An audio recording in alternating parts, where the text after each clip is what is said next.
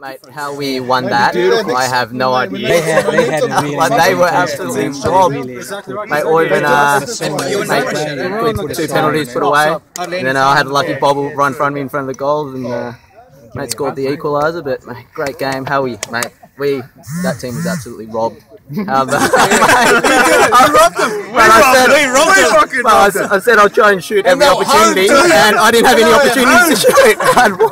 Like, It's gonna steal their nets. a good game, grand final next week.